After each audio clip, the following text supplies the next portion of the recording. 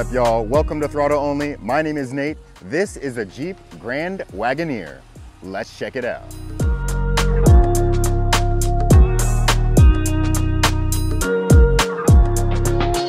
So here's a quick look at this nice rectangular key fob here. We have lock and unlock buttons, a remote start, trunk lift gate button, lower suspension, and an alarm button.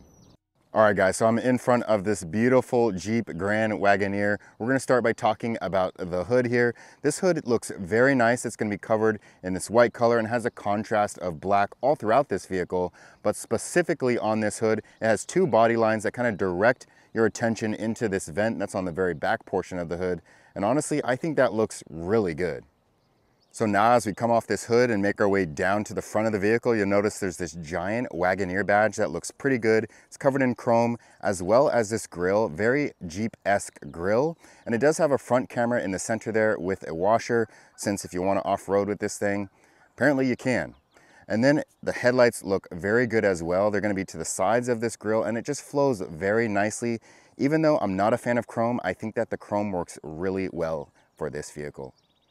So let me show you these headlights. They're absolutely beautiful at night. They have LED projector headlamps as well as LED turn signals that turn amber when that is turned on. And just your standard daytime running lights will also be this beautiful LED color. And down below from that, there are also some fog lights that are LED and they will turn on depending on if you turn the wheel specific way, or you could just leave them on with the fog light button. So now as we make our way down a little bit further, there's some blacked out grill mesh pieces that I think flow really well with this vehicle. And in the center, there are all the technology for the radar cruise control. And down from that, where your license plate is, just to the side of that, this is a very nice textured material. I'm not really sure what it is, but again, that looks super good. And the last styling piece up front here that I wanna mention is this chrome that is underneath the license plate, and it actually will extend just a little bit below the vehicle, kind of like a skid plate. So now as we make our way to the side of the vehicle, let's talk about these 20 inch machine aluminum wheels with Baltic gray pockets. I think they look really good on this vehicle. It might look a little bit better in black. And then above that, the fender flares are pretty flush to the vehicle and they are body colored. In the front here, we do have two 75 tires and that's gonna be wrapped around all four wheels because this has four wheel drive. Then as we make our way back, you're gonna have this giant Grand Wagoneer logo on the side with this American flag. I think that looks pretty cool. This also is gonna have some running boards, so as you open the door or put your hand behind the handle, the running boards will go ahead and present themselves so you can step on into the vehicle. And something to mention about these door handles, I think they look very good. It has this black and this white contrast that just works very well. And these mirrors also have the works as well. On the outside, there's a LED indicator. There is a small fish eye mirror on the inside, as well as a blind spot monitoring system. They fold, and the mirrors are also turned down when you turn into reverse. So as we take a second and just appreciate the silhouette here on this Jeep Grand Wagoneer, we can see that there is a two-tone theme kind of going on here with the white down below and then the top being black. I think that looks really cool. The only thing I don't like are these chrome pieces that extend all the way through to these windows here. I think that just looks very weird, but you can't really notice it too much since this car is in white. And then at the top here, there's also some pretty nice roof rails that you can attach things to if you would like to. And lastly here, you might notice some of the body lines on this Jeep Wagoneer. I think it looks very good, gives it some nice dimension and contour. And on the other side, there is the fuel door. So this massive SUV has air suspension. Currently it's in its highest mode. Let me show you the different ride heights.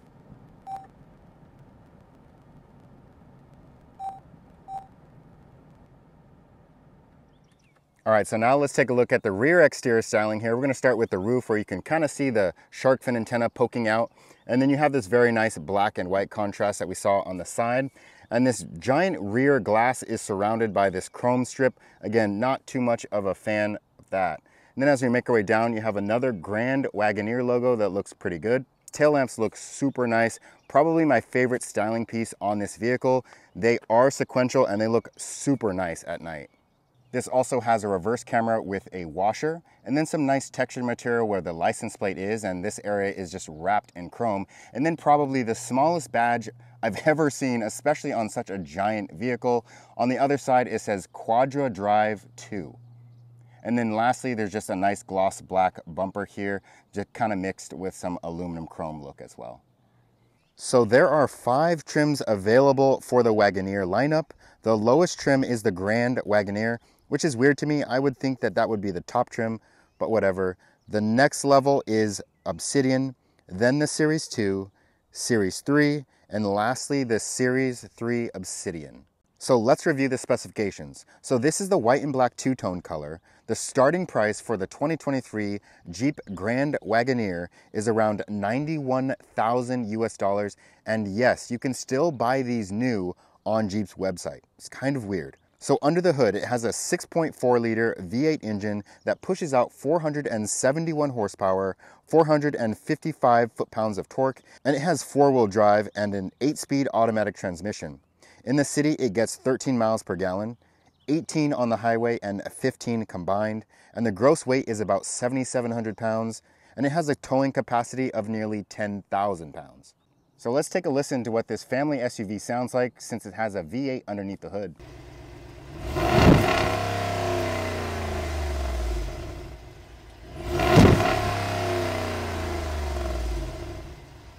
And here's a look at this 6.4 liter V8 engine. You can see just how pushed back this engine is. And let's take a look at where it sits here in relation to these front wheels.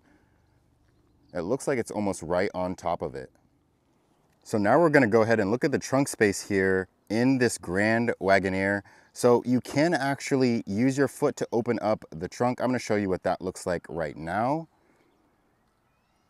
And to open it for you right now, I'm just gonna use the key fob here. I'm gonna double tap this button right here. And it opens right on up. So you can manually close this if you would like using this handle here. Otherwise, if you want to close it, you'll have to use this button right here. And you can also hold to set it at a specific height as well. You can see there are a bunch of hooks right here and some more hooks on the other side as well. And here is the control panel to put down all of these seats. Under this area here with the cargo net taken off, if you lift up the carpet, there's a small hidden compartment right here you can store items. The third row is fully electric assisted and the second row is only partially. And here's the second row. So there is a lot of space here in this Wagoneer with both the second and the third row folded down. But in the center here in the rear, you still have this control panel. We'll go over that in just a second. And then from back here, you can also see all of these sunroofs. From the second row, you can also lower the rear seats by using this touch panel right here.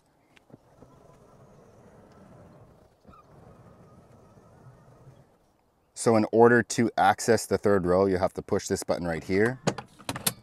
And then when you do so, this seat will move forward and that'll give you enough room to enter into this third row here.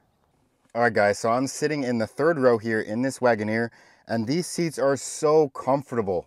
And surprisingly, I actually have enough room as a full-size adult. I mean, I'm six foot one and I do have enough room for my legs. All of the materials back here are super nice to the touch. You have USB type A and a USB-C back here as well on either side. So if you're having kids or even just youth back here, you'll definitely have enough room. And for the third row, there's also a separate sunroof, which is pretty nice, and it has a manual shade, so if people back here want to shade themselves, they can go ahead and do so. And I'll just show you what it looks like sitting behind potentially someone in the second row. I could easily do this for a good long road trip, and this isn't even the longest version that is offered. In the second row here, it's a little tight sitting behind myself at six foot one, but I still have enough room. It's kind of similar to how it was in the third row for me. And there's some sun, sunshades back here as well. They are manual, but super easy to use. And very nice trim as well. You can see there's a speaker behind here. Very nice door handle unlock and locking controls. And then on here, it also says McIntosh and some nice storage area in here as well. And here's a look at the other side there. You can really see that wood grain trim shining in the light there. And you also have access to this beautiful sunroof as well. So here's a look at the storage area here in the middle between these two captain's chairs. Up top here, we kind of have like this wood grain material. And if you fold this back, there's a small storage area. Maybe could fit like a wallet or something like that. A USB type A as well as a USB type C charger. Flip that on back here. And then if you push here and open, there's a super deep cubby here that could fit a hydro flask. It is so deep in there. And then some standard cup holders in front of that. And then there's actually a screen. If you tap that, you can turn on the climate control for the rear. This even has heated seats for the second row, which is pretty cool. There's also two vents. There's a USB type A, a USB type C on either side. It says Grand Wagoneer just in between all of those USBs. There's also an AC adapter and a DC adapter down there as well. All right, so let's take a look at the passenger side door panel. Let's start with this black trim up here that is pretty plush and then a pretty nice wood grain material here as well. There are automatic seat controls. You can adjust the headrest front and back as well as down and up. And then you can also adjust the upper portion of the back, the lower portion of the back, move the seat forward and back. And then this small little black button in the center here will adjust the thigh extension. And down below from there, there's the McIntosh sound system and some more storage. Now, as we make our way into the vehicle here, there's a nice Grand Wagoneer sill. Can barely see it, but it is there. And then also you have this small area here that says Grand Wagoneer, and that will illuminate at nighttime, which looks pretty awesome. Nice carpet floor mats.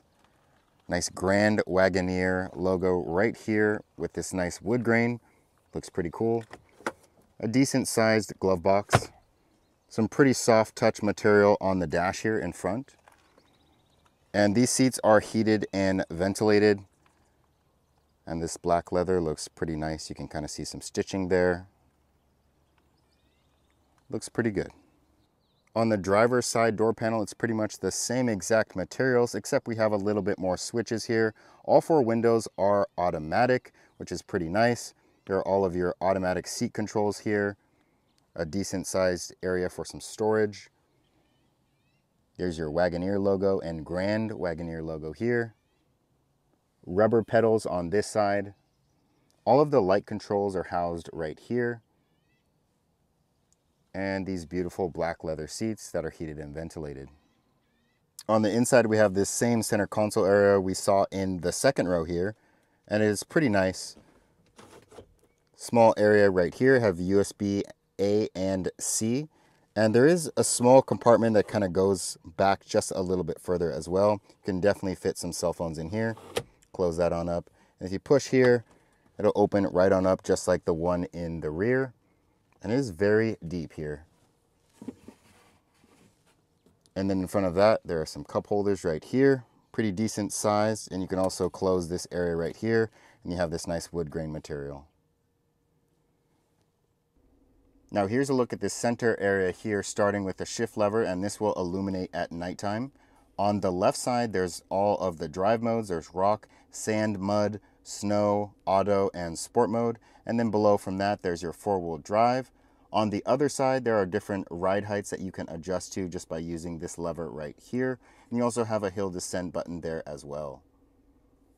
Now up from that, you do have a pretty nice screen here. You can control your climate as well as your seats. You can also use the massage settings there if you want to turn that on. You can adjust it from high, medium, low, and the specific area you also want that to be at. And then you can also adjust the rear climate from here as well, or just turn off the screen. And if you want to lift this screen up, just push this small button right here. And that will reveal a wireless charging pad, multiple USBs, and there's also a 12 volt DC adapter down there as well and you can just push this button and it'll return. And the rest of your buttons are located here as well. So on this panel here, there are more options to control the AC or the climate. And there's more options on the side here. This has heated and ventilated seats, as I mentioned earlier. And you can control the specific zone by tapping here. This also has a heated steering wheel that you can toggle with three different modes. Now for the center screen, this does have Apple CarPlay and Android Auto. I primarily use Apple CarPlay and this section right here that says vehicle. That way I can quickly turn on the surround cameras, which I'll do right now. And so you can see the surround area right here. And you can also choose all of the different views that you would like. Hit the exit button here. And you can also quickly just turn on your rear view camera if you would like. You can also fold the third and second headrests or turn on the power side steps. So while still being inside of this vehicle tab here, you can hit settings and this will go through a lot of the settings in the vehicle if you would like to, anywhere from the suspension to the brakes to the lights. You can adjust all of the lights in here as well since this does have ambient lighting. I'll kind of show you what that looks like. There are only a few different colors, however, but they still look pretty nice at nighttime. The start and stop button is located right here. And looking at the steering wheel, there's a nice Grand Wagoneer logo right there in the center. And this steering wheel is very comfortable. It's, it's wrapped in leather. It has a gear limiter down here. You can limit the specific gears you would like. There's a nice little chrome piece down here. On the right side, there are all of your adaptive cruise control settings. You can set cruise, adjust the distance, all of that good stuff. And if you would like to customize this nice digital instrument gauge cluster. You can do so with all of the buttons over here besides your phone buttons here at the top. All right, so I'll just quickly run through some of the different orientations you can have here for the digital instrument gauge cluster. First off, I'll just hold right here and it'll show you an analog version of what was just being displayed. And then you can also have this version if you would like. I'm gonna go ahead and return back to the digital version right there. And so you can adjust pretty much every area you would like. You can adjust this area right here as well as this one here and here. I primarily like it on this screen right here. I think that this is the easiest. But if you push this small button right here, this will bring up kind of a menu here and you can just quickly select which you would like to see. So if I select that, there now I am looking at my tire pressure and I can just quickly roll through everything that is needed here. You also have some more information here and you can scroll to the left and the right to see more information. Continue on down, service information, and then you can enter the screen setup and this is where you can adjust all of those things that I mentioned. And lastly, here's a look at the head-up display. It is customizable where you can adjust the height, the brightness, and information such as the navigation. All right, so it's time to take out this beautiful Jeep Grand Wagoneer. I'm super excited, man. This thing is so comfortable to drive, especially with its adaptive air suspension and whatnot. Man, it is just a beauty. So I'm gonna go ahead and put it into sport mode here, and we're gonna do a zero to 60 just real quick. But before we do that, I just kind of want to talk about some of the, the other things with this vehicle. So visibility wise, the visibility is okay. I think where this A-pillar is sitting here and over there, it's a little tough to see pedestrians, especially because of how big these mirrors are. I mean, these mirrors are absolutely massive. I literally find myself ducking just to make sure that I'm not gonna hit any bicyclists or pedestrians or anything like that. So let's go ahead, we'll do a zero to 60 real quick. I'm in sport mode already. Like I mentioned earlier in the video, there are a bunch of different drive modes. There's rock, sand, snow, and auto, but we're gonna do a zero to 60 in just the standard sport mode and I'll brake boost it as well. Oh.